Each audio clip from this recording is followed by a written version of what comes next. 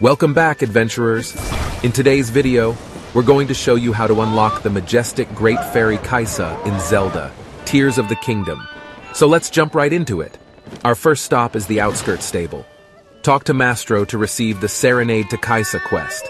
This quest involves reuniting the musicians and building an ATV to transport them to the Great Fairy Fountain. To construct the ATV, gather the pieces located next to the stable.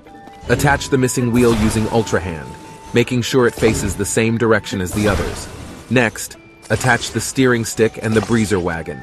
Remember to get the vehicle close to the wagon before attaching it. Once the ATV is ready, offer the musicians a ride and drive them uphill to the location of the Great Fairy Fountain.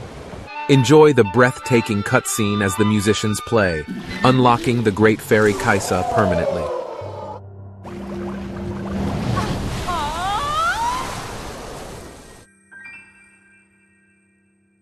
Mastro will reward you with 100 rupees for your efforts.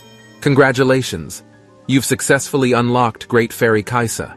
Now you can visit them and other great fairies to upgrade your equipment and receive their blessings. Enjoy your enhanced adventure in Zelda, Tears of the Kingdom. And that wraps up our guide on how to unlock Great Fairy Kaysa. If you found this video helpful, don't forget to like, subscribe, and hit the notification bell for more Zelda tips and guides. Thanks for watching, and happy gaming!